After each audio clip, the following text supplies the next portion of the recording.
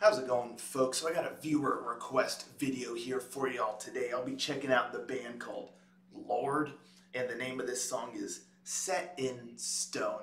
I don't believe I've heard this band before. It doesn't really sound familiar. Um, it's tough to say because the, the name Lord, you know, it's not super abstract, but I really don't think I've heard of them. That looks like they're an Australian band, and this song is from an album they released back in 2009.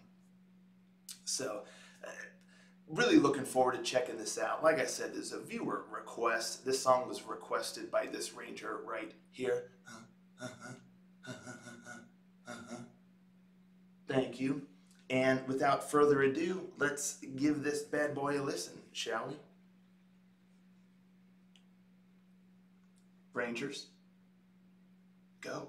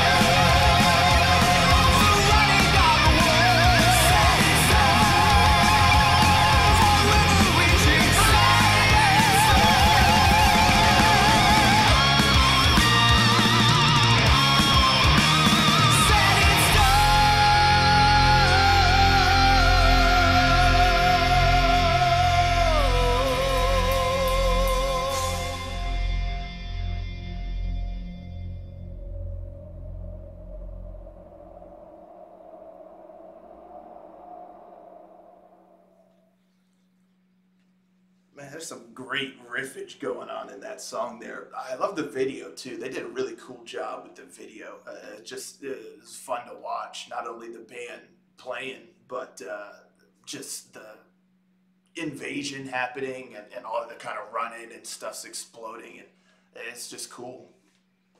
But yeah, you know,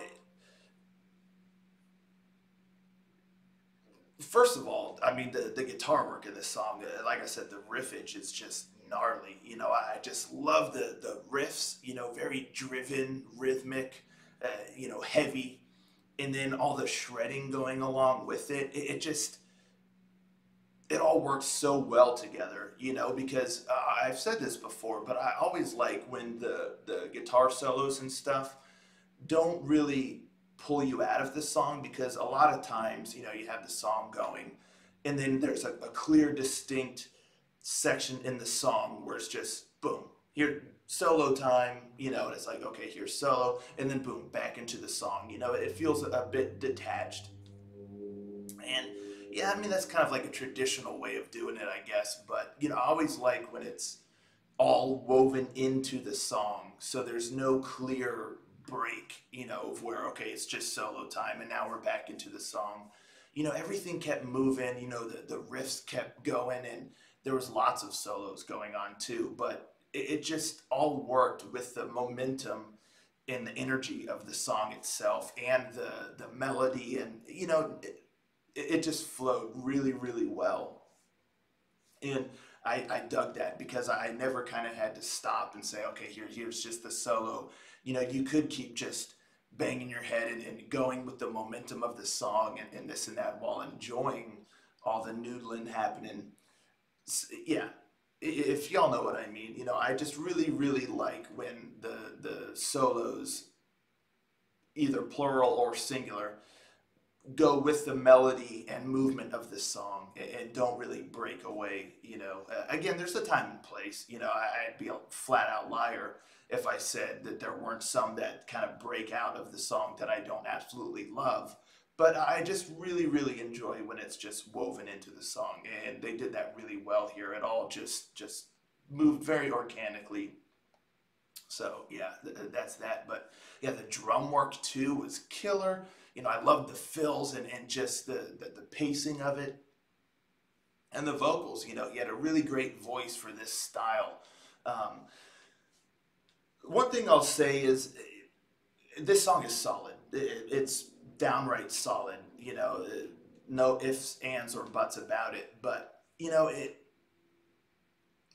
While I was listening to it, it doesn't really do anything that kind of breaks the mold or really sets itself apart. It's and you know, sometimes I find myself getting caught up with things that I say, and when I say something doesn't break the mold. That doesn't mean I'm always looking for every song to reinvent the wheel. Not at all. I mean, that's very difficult to do these days, and it, it does not have to do that. It, it, can be a certain formula and, and still kind of stand out or quote unquote break the mold. And when I say things like that, I just mean there's like a, a standard for every style. And if you fall squarely within that, that standard, you know, it, it, it, can still be very solid. But if, if, there's nothing there that really kind of pushes it beyond, and again, not reinventing the wheel, but just something in there that brings something extra that really makes the song or album or whatnot pop and, and kind of stand out from the crowd in some way. Um, you know, this song doesn't necessarily do that, you know, but it, it's still super solid in its own right. But one thing that I was thinking while I was hearing this song, and I was thinking this very solid, you know, doesn't necessarily stand out from the crowd in this style, which I would kind of consider like the the traditional heavy metal style, the new wave, whatever. You know, I get confused with a lot of those new wave of traditional heavy metal, new wave of British heavy metal, or just kind of like the classic heavy metal. I don't know the, the semantics of it all. You know, I really don't keep up with all of that, but so I kind of just put them all into one group of kind of a, a traditional or classic heavy metal sound, and and that's what this was to me anyhow. But one thing I took into consideration though is that this is back from 2009 and and I could be dead wrong, but like at that time, I was listening strictly to kind of like the 2000s era uh, power metal, you know, through and through. It wasn't until later years that I started kind of incorporating some of this type of music, that, that classic or traditional heavy metal sound into what I was listening to and including that into my power metal listening. So, in recent years, it seems to me that there's been a real renaissance of this style of music. Whereas back in 2009, and again, I could be dead wrong, I don't feel like it was as saturated with this style. So I think putting this song into context of- when it was released back in 2009 i think it would have a lot more of a fresh sound to it and i think it would have stood out from the crowd a, a bit more than it would say if this song was released today because again i feel like in, in recent years there's been a real renaissance in, in this style and this genre of that classic heavy metal so there's a lot of it so it's more difficult to stand out but back in 2009, I don't think there was as much of it. I mean, of course, there was some, but I- just feel like this song, it it definitely would have shined a lot more back then and stood out from the crowd more back when it was first released compared to, you know, listening to it today. So, you know, I definitely take that into consideration. But regardless, even with this being released in 2009, I I do think it, it still definitely holds its own today and it has a really good sound, great musicianship. It's catchy, you know, I like the whole set in stone thing, nice melody, and just solid all, all, around. Uh, you know, eh, that's really what I got to say uh, about that. So I'm really curious if this band are they are they still kicking? They still going you know strong, uh, or did they break up? Or you know how long were they around for? You know, let me know in the comments below. And, and thank you so much to the Ranger who requested this song. Um, I'm gonna have to look into this band more. And again, folks, let me know if they're still going. You know, has their sound evolved a bit? Are they are they still killing it? Still doing doing doing well?